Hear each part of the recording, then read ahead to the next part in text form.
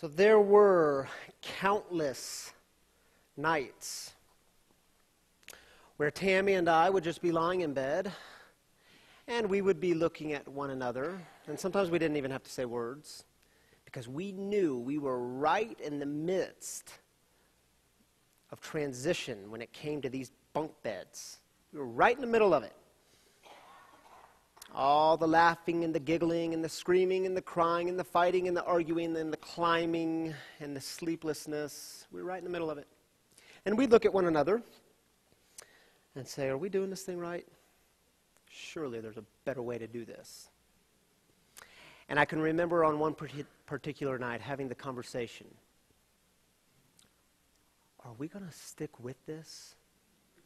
Or should we just go back to the way it was?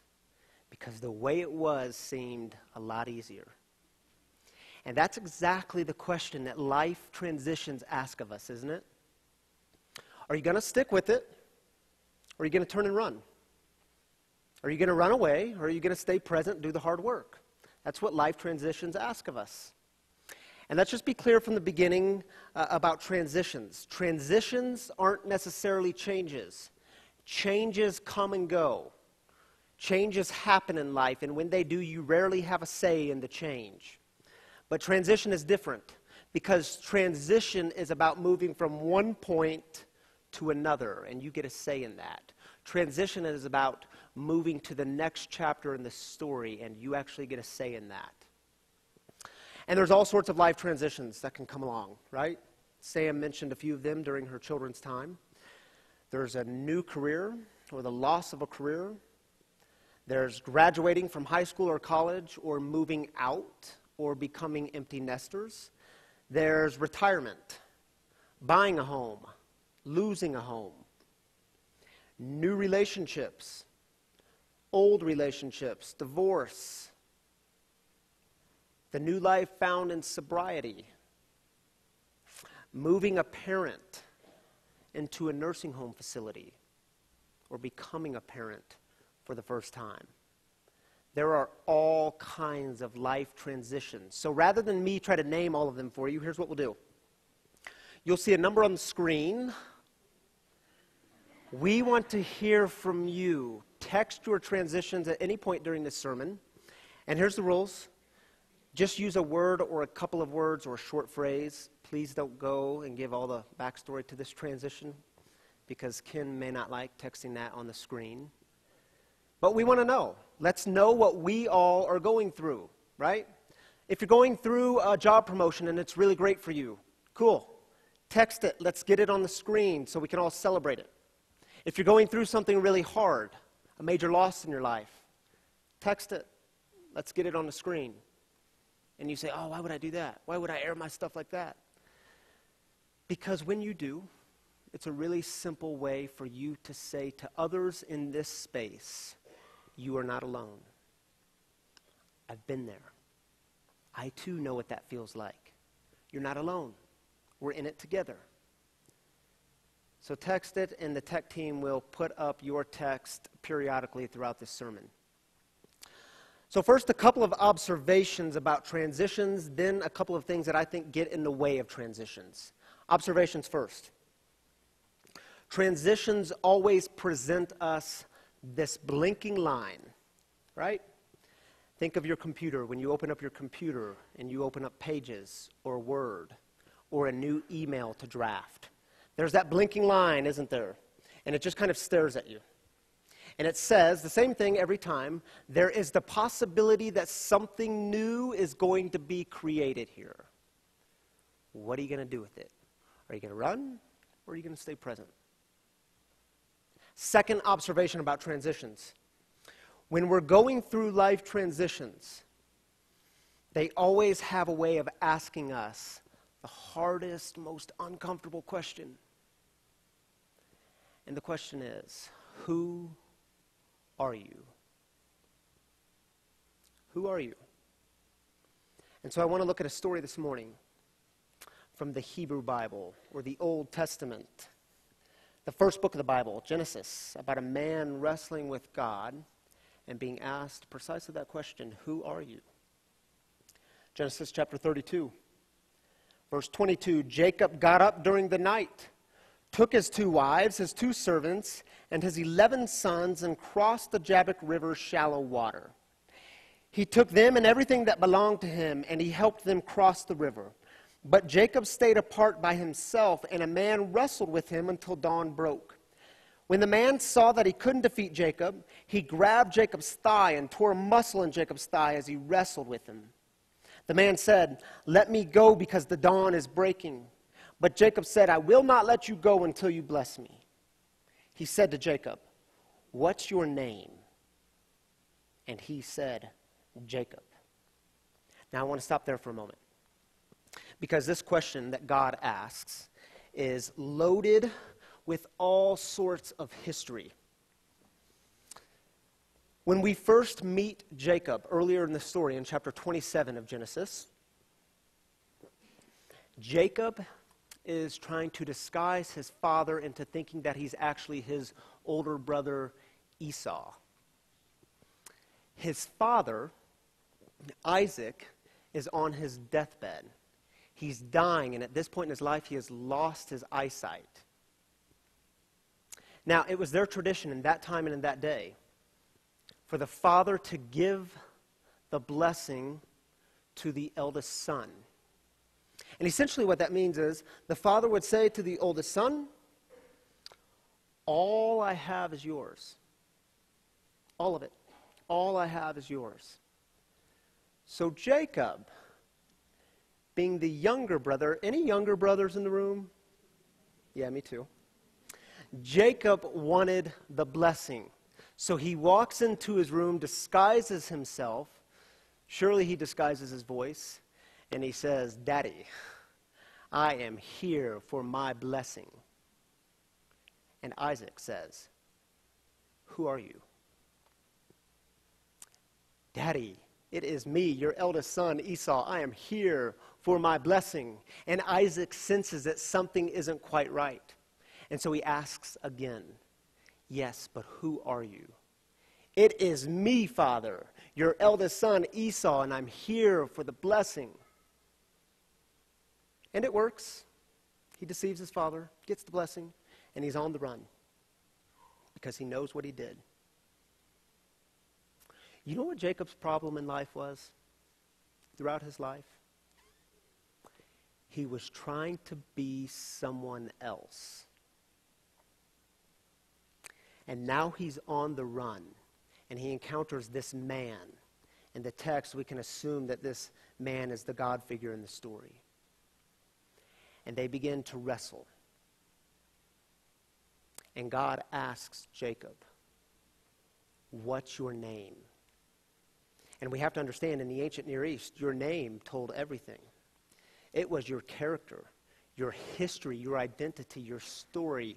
Your name told everything about you. So when he says, What's your name? what Jacob is really being asked here is something much deeper. Who are you? Who are you? How much of our pain in life comes from not knowing who we are? Not knowing who we are. This always gets in the way of transition. Always. Rob Bell is one of my favorite authors, and he just came out with a new book. In fact, he released it just a couple of weeks ago. It's called How to Be Here, and I highly recommend it. In the middle of the book, he has these two subheadings. The first one is called Who You Aren't Isn't Interesting. And then you drop down a couple of paragraphs, and then it's Who They Are Isn't Interesting Either. And this makes sense, doesn't it? Because who you aren't the things you don't have, the places you haven't been, the college you didn't get into, the degree you don't have, these things simply aren't interesting. They're not. You know, I was meeting with a friend for coffee just a few months ago. And I was talking to this friend about the transitions that we're going through here at St. Luke's. And I was describing to him some of the anxieties that it has produced, some of the questions it has raised within me, some of the butterflies that come with it. By the way, if you're going through a new thing in life and you have butterflies, good. Good. This is normal. This is what it means to be human. Welcome those butterflies in. It is God's way of reminding you that you are still alive and breathing, you're awake and aware, and these things actually matter. Welcome them. So I'm talking to my friend, and I said, You know, I don't have this gift, and I don't have this talent, and I don't have experience in this area, and I don't have experience in this area. And he says, Whoa, whoa, whoa, whoa, whoa, whoa, whoa. He said, Do you see what you're doing here? I said, Uh uh, what? He said, You just spent the last 10 minutes telling me all the things you don't have. In other words, who you aren't isn't interesting. He said, That's a bad place to start. Let's start with the things you have. Let's start with who you are.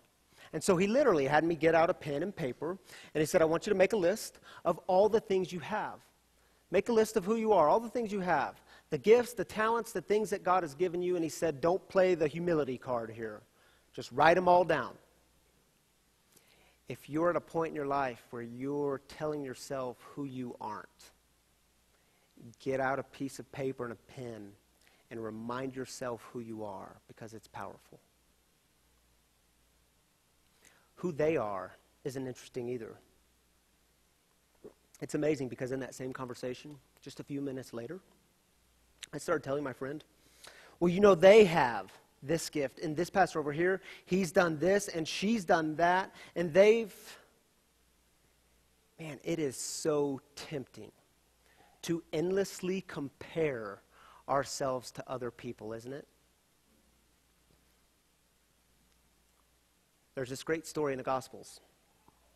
It's right after Jesus' resurrection.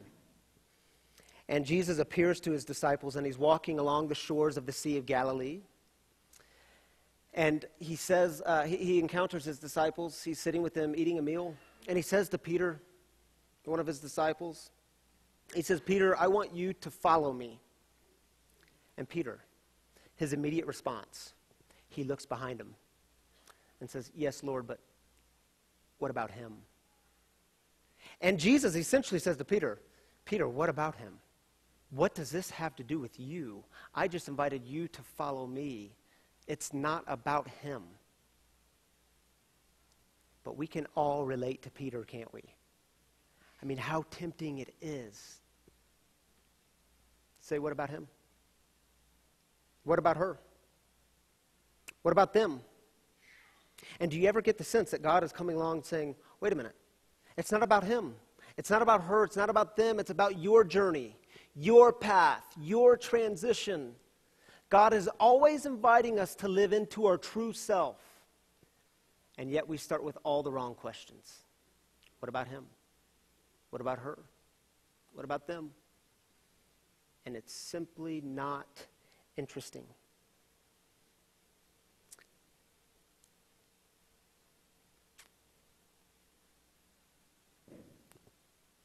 I think it's appropriate to just lift these things up.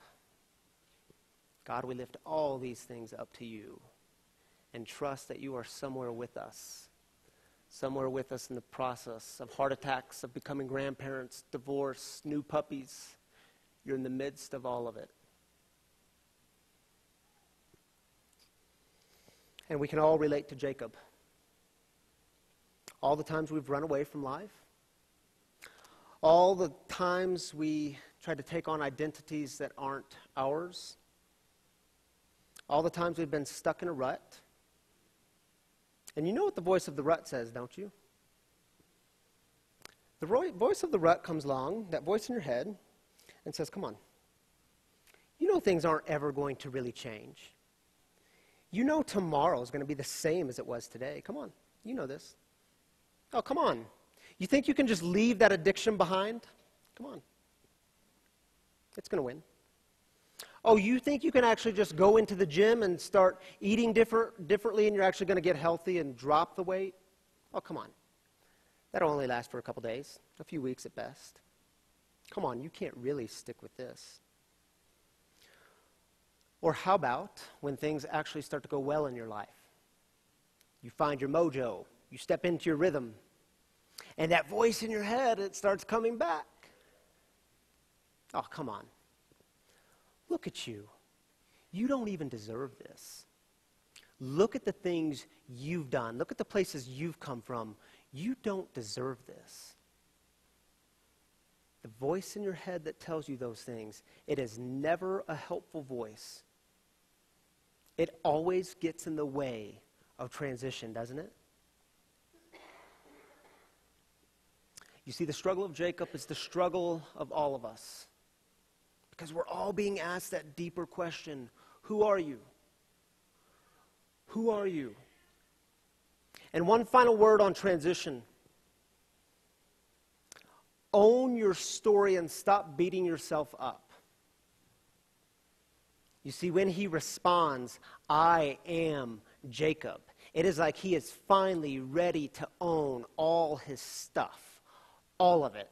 The mistakes he's made, the running, the lying, the new identities, he is owning it. And it's like God says, Good, because you and me, we've got some work to do.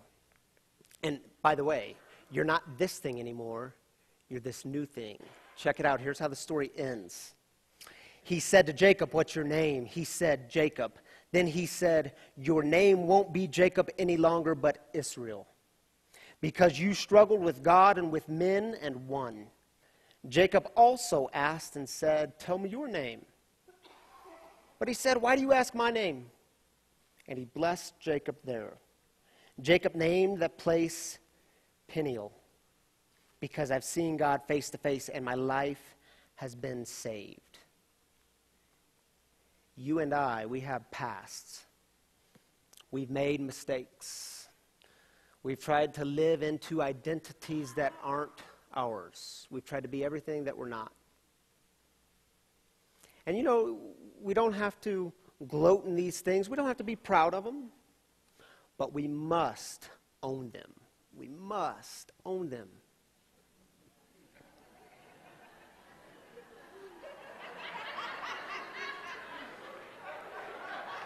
I dig it.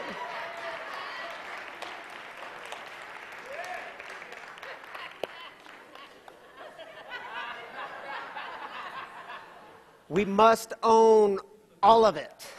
All of it. Because owning it, it helps us move forward. It's what it means to move forward. Owning it is what it means to say no to guilt and shame. Guilt and shame can no longer be the storyteller. Owning it is what we do when we stand up tall and we say, God, we are ready. I am ready for the new thing that's happening. And you don't know what you're doing? Cool. You lay in bed at night, look at your partner, and say, What in the heck are we doing? Are we doing it right? Is there a better way to do this? I don't get it. Good. Own it. Own it voice it, put words to it. Because the story, the script, it hasn't been written for tomorrow. You actually get to do that. The line is blinking, the screen is blank. You get to create that. Own it. As we move into our time of communion, and Reverend Janet comes forward, I want to invite you all to do something brave with me.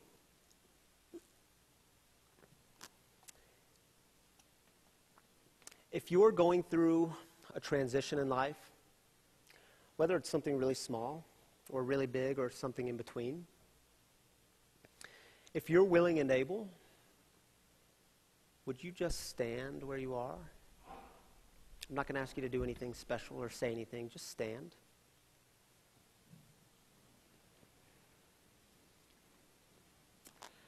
Feel free to look around and look at your neighbor give him that awkward head nod that you acknowledge him. You see, the invitation from God is always to live into your true self, to be the one God created. The invitation is always new life. And the great reminder is you are not alone. And your transitions, no matter how big, how small, how in between, you are not alone.